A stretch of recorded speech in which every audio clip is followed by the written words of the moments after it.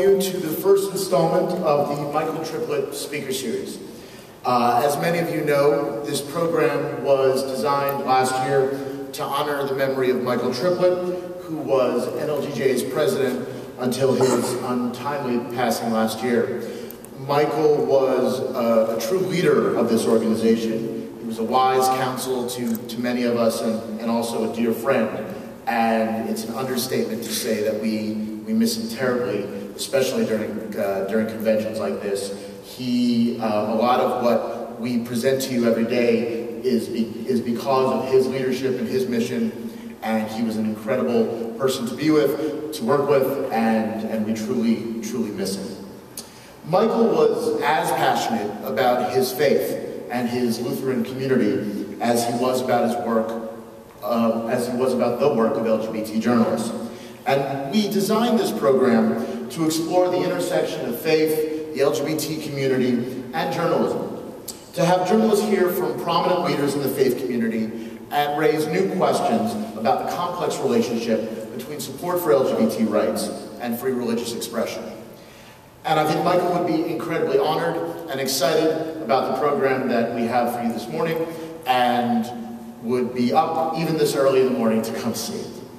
Uh, so let me welcome uh, our guests this morning. First, the Reverend Dr. Guy Erwin is Bishop of the Southwest California Synod of the Evangelical Lutheran Church in America. He is the first openly gay bishop of the ELCA, and as an active member of the Osage Nation, he is the first Native American bishop in the denomination. Reverend Erwin is the Gerhard and Olga J. Belgum Professor of Lutheran Confessional Theology at California Lutheran University, where he has taught since 2000. He did his undergraduate work at Harvard University and his graduate studies at Eberhard Karls University in Tübingen, the University of Leipzig, and Yale University. In 2004, he was appointed to the Faith and Order Commission of the World Council of Churches. Prior to coming to California in 2000, he was a lecturer in church history and historical theology at Yale Divinity School from 1993 to 1999. Erwin and his husband, Rob Flynn, are members of St. Matthew's Lutheran Church in North Hollywood, California. Uh, also joining us in, um, on your right is the Right Reverend V. Gene Robinson, who was elected Bishop of the, uh, of the Episcopal Diocese of New Hampshire in 2003 he having served as canon of the ordinary for nearly 18 years. He was consecrated as bishop on All Saints Sunday in 2003, was invested as the ninth bishop of New Hampshire in 2004, and retired as bishop of New Hampshire in 2013. He graduated from the University of the South with a degree in American Studies and History, and received his Master's of Divinity at the General Theological Seminary in New York. After being ordained deacon and then priest, he served as curate at Christ Church in Ridgewood, New Jersey. Co-author of three AIDS education curricula for youth and adults, Robinson has done AIDS work in the United States and in Africa.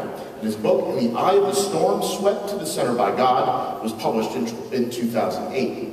Robinson has been active in the LGBT civil rights community, working at the state, national, and international level. He has spoken and lobbied for equal protection under the law and full civil marriage rights. He is currently a senior fellow at the Center for American Progress in Washington and is bishop in residence at St. Thomas Episcopal Church in Washington. And our moderator this morning is Jason DeRose, the Western Bureau Chief and Senior Editor for NPR News. Jason oversees news coverage from reporters and editors and freelancers in 13 western states, where nearly one-third of NPR's listeners live. These pieces air nationally on Morning Edition, All Things Considered, and Weekend Edition. The best part of his job, he says, is that he visits each of his states every year.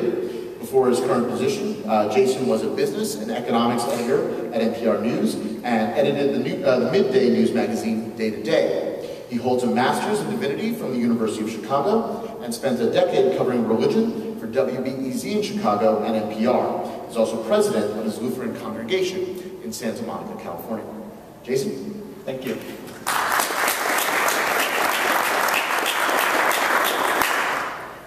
I want to frame our conversation today around three scenes. First, it's a close-up of your personal experiences as openly gay bishops, religious leaders in the public eye. Uh, the second scene is the middle is the middle distance view of the current intersection of religion, LGBTQ issues, and public life. Um, I don't usually use the word politics because I think that describes that whatever that is that's going on in Washington, but I think public life is more capacious. And third, um, a wide shot of what you think some of the new frontiers for people of faith um, in the LGBT community in public life. And then we're going to have time for some questions at the end, so be thinking of questions to ask um, yourselves out there. So let's start with the close-up. The two of you were elected a decade apart. Um, Bishop Robinson, you in 2003, Bishop Erwin, you in 2013. Now, Bishop Robinson, I think everybody in this room knew who you were uh, when, they, when they got their uh, program. I'm not sure that's the case with, uh, with Bishop Erwin. So I'd like to begin by asking each of you to evaluate how you have been seen, how you saw yourselves portrayed in the media, perhaps uh, Bishop Robinson, from over the course of time, and then uh, Bishop Erwin just for the last year. Sure. Good morning, everyone. Good morning. Congratulations on being up. Um, we'll all go to the clubs tonight. Um, so it was a, uh, an incredibly uh, turbulent time, uh, being the first openly gay and partner person elected bishop in Christendom. It was a, it was a big news story, and uh, when I describe a, a, bit of what's happened in the last 10 years, I often, I often mention Guy because on the, on the day after I was consecrated, or uh, elected, uh, my picture was on the front page of every newspaper virtually in the world. And on the day after Guy's uh, consecration, I couldn't even find the story in the LA Times where it actually took place. And I think that's a, a, a if you will, a snapshot of, of where the culture has moved and where uh, some religious uh, institutions have moved in that 10-year period. Um, and I guess at this point I would say that one of the uh, criticisms leveled against progressive religious groups about their increasingly positive stand on LGBT issues is that we're following the culture. And what I always say in response to that is, you know, sometimes God works in the culture when the church won't cooperate. Right? God is going to have God's way with justice, uh, with or without the church. And if the church won't lead, then uh, God will work in the culture. And I think this is uh, one of those interesting periods of time uh, in which God has needed to accomplish God's work uh, in the culture. Um, uh, one of the interesting things around the press and media coverage was that um, I had no ramp-up time. Uh, I, I, didn't get to be a little bit famous and then a little bit more famous and then a little bit more famous and then kind of ease into this role. Uh, on, on Friday, I was just Gene Robinson. On Saturday, I was elected. On Sunday, um, it, it, you know, it was a firestorm. On Monday morning, I'm sitting with Matt Lauer on the Today Show uh, with a, a, friend who's a PR kind of person trying to give me a cram course in how not to look like a deer caught in the headlights. Um, so that part of it was uh, both uh, uh, horrifying and, and actually kind of fascinating. Um, I, uh, I've been treated really well by the press and by the media. Um, this same uh, person who was giving me the cram course said, look, this is a group of people just trying to do their jobs if you help them do their jobs, they'll treat you well. And, um, and that, that has stood me in good stead in terms of actually developing relationships uh, with uh, members of the media. And, and, I, and I have to say, I, I've made a, a, lot of people that I would consider to be uh, very, very good friends. So I, I, felt really well treated. The one thing that ir irritated uh, early on was uh, uh, you, you just didn't see the words Bishop Gene Robinson without openly gay or gay. And for a couple of years, I, I resisted the gay bishop. I, I kept saying I just want to be a good bishop, not a gay bishop. And then it, it, it finally dawned on me that um, this was a, a, wonderful opportunity that, uh, that I believe God was putting in front of me. and that to, to uh, push against and resist the, the gay moniker was to be a very bad steward of a very great opportunity. And so rather than pushing against it, I decided that I would embrace it and, uh, and use it uh, as best I could uh, for, the, for the good of, our community. And, and uh, so it, it, it, got to be very much peaceful. The last thing sort of personal I would say is that for the first two years I was, uh, I was getting uh, almost daily death threats. And, and while I suspected that there would be a, um, a bit of controversy around my election. I don't think any of us uh, thought it would be as big a story uh, as it actually turned out to be. And I think that was just a, uh, uh the intersection of, of, of, several things happening all at once, and, and, and I seem to be a symbol for that. And um, so uh, uh, personally, I, I tried to keep track of who I was and not believe the press about me, either the positive or the negative, uh, because neither of those were actually true.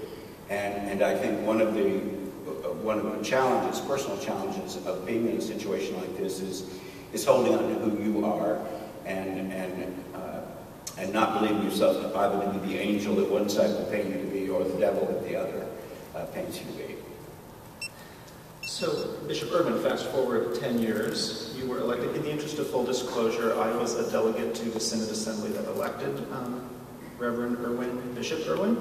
Um, so fast forward 10 years, and you were elected on, I believe, a Saturday afternoon? It was. Um, what a difference a decade makes.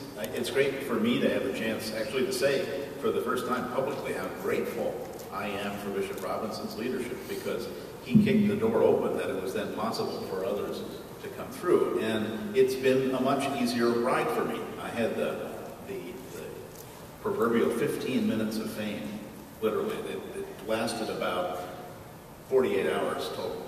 The morning after my election, my picture was on the front page of the newspaper in Madrid. But then it dropped from sight, really, after that. I, I kind of followed how it went around the world, and it was very interesting for me as a as a novice in this to see who copied whom in terms of the reporting that went around the world. There were some inaccuracies in one of the early stories about my election that then got amplified as it went around. Nothing important, but it was just interesting to watch. Um, the like Gene, I discovered that I had gone through a door I really wasn't fully aware I was going through until it was over. And all that attention all at once was a little bewildering. But, uh, but of course, I had seen him go through it, and I, and I knew to be calm and that this would indeed die down a bit. But in terms of the actual focus on it, much, much less, of course, than a decade before. We've become a little more used to the idea, even though uh, the communion of Lutheran churches around the world is very, very large and significant, like that of the Anglican Church. It's churches. It's still just another milestone along the way. Think with each iteration, each new frontier that's crossed, there might be less media attention simply because this is the way that many kinds of churches are going. Now, I understand that the uh, news media did play a role in your relationship? Yes, indeed, because I was elected, and almost immediately after that, uh, DOMA was, and Prop 8 were overturned by the Supreme Court. And that juxtaposition was one that no one anticipated. And it was actually on in an NPR interview that I was asked by the interviewer. I prepared myself for every possible question, but not for this one. Was asked whether I now intended to marry my partner of 19 years, and I said, "Well, I suppose so. I'll have to ask him." and uh, and of course, then I got home, and, and by then Robin already posted on Facebook that he thought he had been proposed to, which indeed turns out to have been the case. Uh, so Bishop Robinson, what, what has been the hardest part of, of living your life so publicly over the last decade? You know, what's been the toll? Coffee. Um, the well, it's, uh, several different uh, difficult parts. Uh, the, the, actual hardest part was being a good bishop, right? It's actually not an easy job, uh, and and in, in some ways, uh, I, I, felt like I had two jobs. I had this more than full-time job as the Bishop of New Hampshire, which any bishop uh, would have. And then I had this other thing going on, which was the, this uh, huge interest uh, around the world and, and all of the um, uh, opportunities that, that, came for, for doing that. So uh, it was difficult uh, keeping that in proportion. I, I wanted my folks in New Hampshire to understand that they were the most, my most important priority.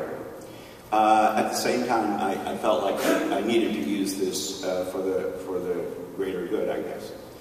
Um, all the negativity uh, is, is difficult.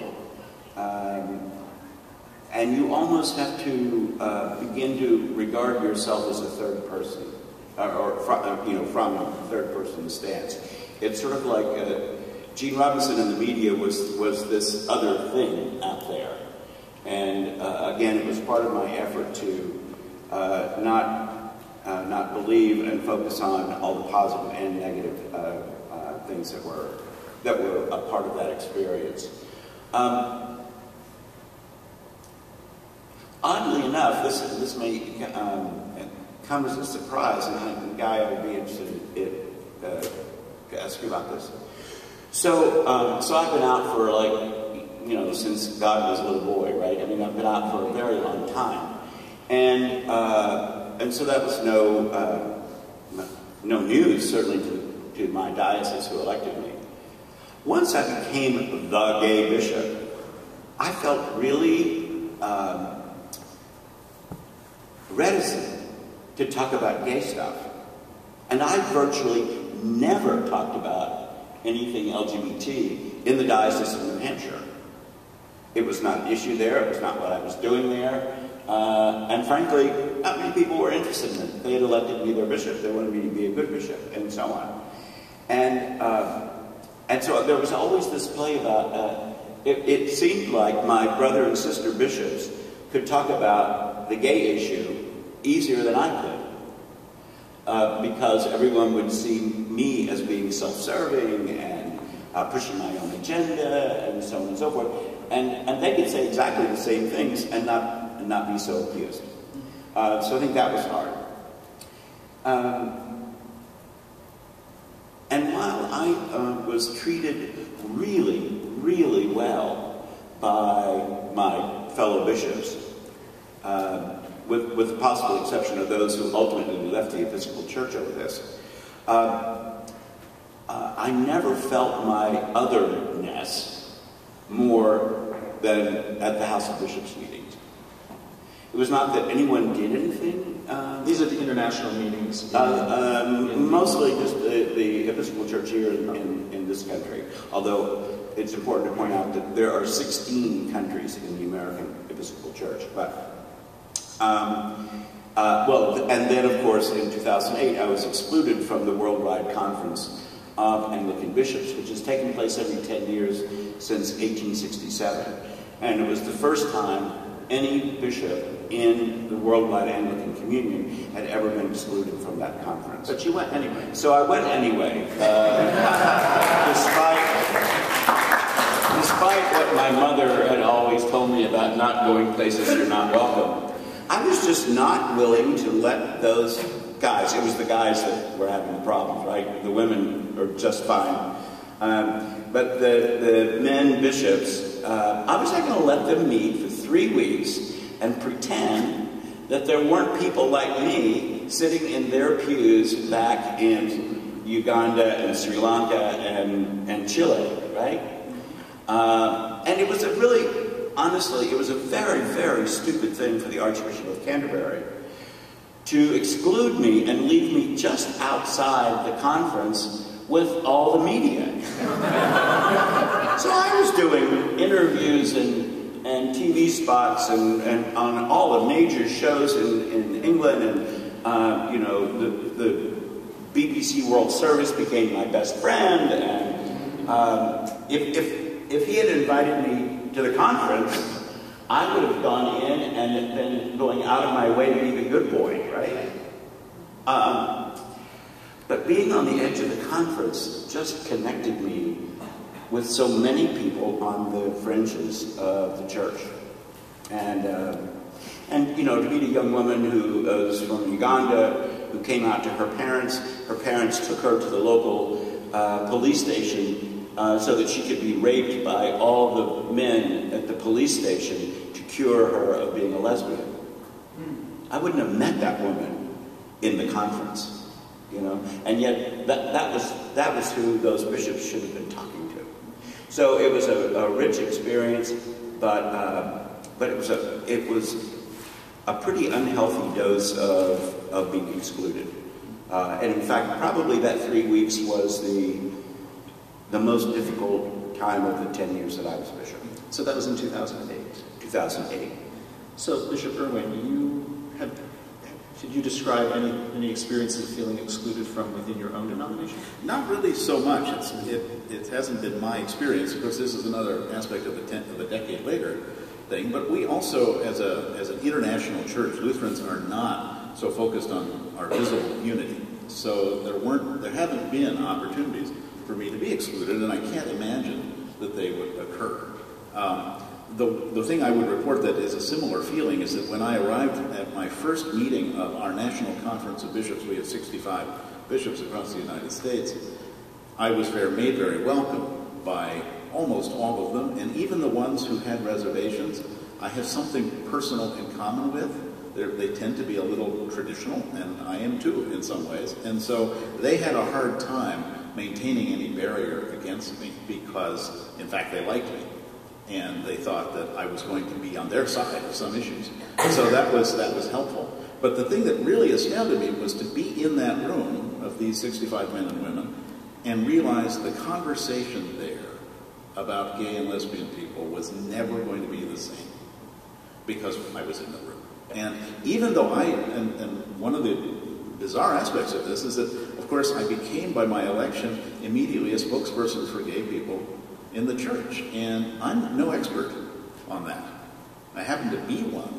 But it's never been the focus of my work. I'm a historian and a theologian, and it's not, it, I, I can tell you anything you want to know about Martin Luther, but really about, about the lives of gay people in America and the world today, I had to catch up a little to be able to talk about that. And, uh, and that was a surprise. So I find myself having to speak for issues about which I don't feel like I'm the most qualified person around. And of course, we all know that you don't even have to be gay to be able to speak with knowledge and compassion about the situation of gay people.